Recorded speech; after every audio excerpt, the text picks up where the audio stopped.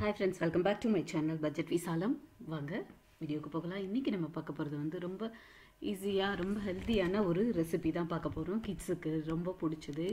கிட்ஸுக்கு ரொம்ப ரொம்ப காஸ்ட்லியாக கடையில் வாங்கக்கூடிய ஒரு ரெசிபி தான். நம்ம வீட்டிலே எவ்வளோ சிம்பிளாக பண்ணலாம் அப்படிங்கிறது தான் ஒரு அரை கப் அளவுக்கு வந்து வேர்க்கடலை எடுத்துக்கோங்க. வேர்க்கடலை நிலக்கடலை மலாட்டன்னு சொல்லுவோம்ல அதில் ஒரு அரை கப் எடுத்துக்கோங்க. ஃபஸ்ட்டில் அதை மிக்சியில் போட்டு லைட்டாக கிரைண்ட் பண்ணி விட்டுக்கோங்க. பல்ஸ் கொடுப்போம் இல்லையா? அந்த மாதிரி பல்ஸ் கொடுத்து கிரைண்ட் பண்ணி விட்டுக்கோங்க. அப்போ தான் வந்து நமக்கு வந்து அந்த கரெக்டான அந்த கடையில் வாங்குற மாதிரி கரெக்டான டெக்ஸ்சர் கிடைக்கும். அதனால் ஃபஸ்ட்டில் அந்த மாதிரி பல்ஸ் பண்ணி எடுத்துக்கலாம்.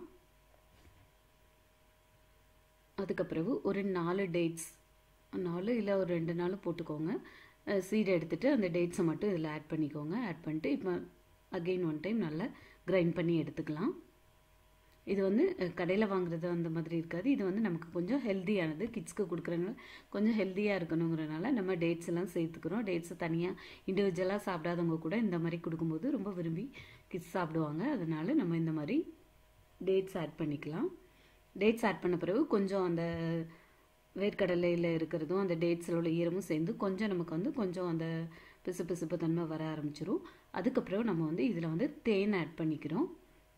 நீங்கள் தேன் விருப்பப்படலை அப்படின்னா வெல்லம் கூட ஆட் பண்ணிக்கலாம். அதுவும் ரொம்ப நல்லது தான் வெல்லம் கருப்பு வெல்லம் இல்லைன்னா நார்மல் எல்லோ கலரில் இருக்கக்கூடிய வெல்லம் இருக்கு இல்லையா?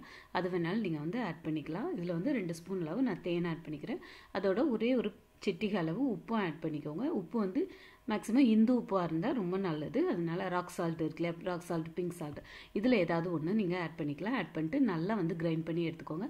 ஓரளவு குறை குறைன்னு இருந்தாலும் ஒன்றும் ப்ராப்ளம் இல்லை. நமக்கு வந்து அந்த டேட்ஸ் எல்லாம் சேர்க்கனால கொஞ்சம் குறை குறைன்னு இருந்தால் கிட்ஸ் எல்லாம் விரும்பி சாப்பிடுவாங்க. அதனால கொஞ்சம் குறை குறைன்னு கூட இருக்கலாம். இந்த மாதிரி நல்லா வந்து உங்களுக்கு ரெடி ஆயிடுச்சு பாருங்கள் இப்போது அந்த பீனட்ஸும் ப்ளஸ் அந்த தேன் டேட்ஸ் எல்லாம் சேர்ந்து வந்து உங்களுக்கு நல்லா ரெடி ஆகிடுச்சு இப்போ நீங்கள் அதை அப்ளை பண்ணும்போது கூட கொஞ்சம் ஓரளவு வந்து அந்த பிளாக்காக இருக்கும் இல்லையா?